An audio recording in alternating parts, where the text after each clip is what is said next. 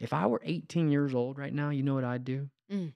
I would go, I wouldn't go to college.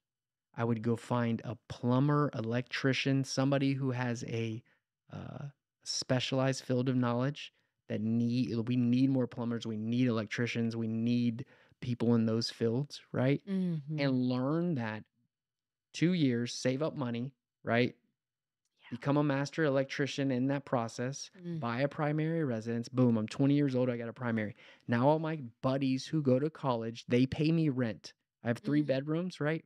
And they pay me rent, right? Then in another 2 years I buy another primary residence and I rent that one out either to my same buddies or I buy another one and rent it out to whoever. I don't Mhm. want to be a landlord, Aaron. You pay a property management company 7, 8%.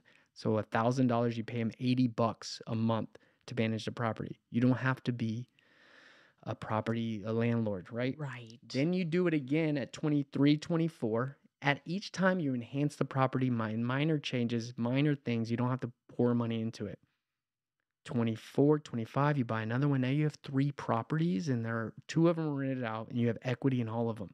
By the time your friends are graduating school with $80,000 of college debt, no useful skills, you have three properties and you have a ton of equity and you have money in the bank and a specialized field of knowledge, right? Think about that. Now, who's doing that? Probably not a lot of people. We need to play a repeat on that a few times and take notes. Seriously. Think about it. Yeah. If you were 30 and you could have three or four homes, right? right.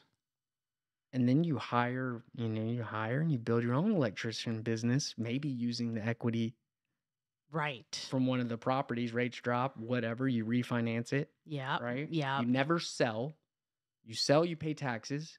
All you do is you go, you get more debt, right? Right. Somebody else pays the debt. Mm-hmm. The tenant pays the debt, right? Are you cash flowing on every property? Maybe not, but you get tax deductions, you get depreciation, you get all those tax advantage things for being a property owner, Yes. right? So Right.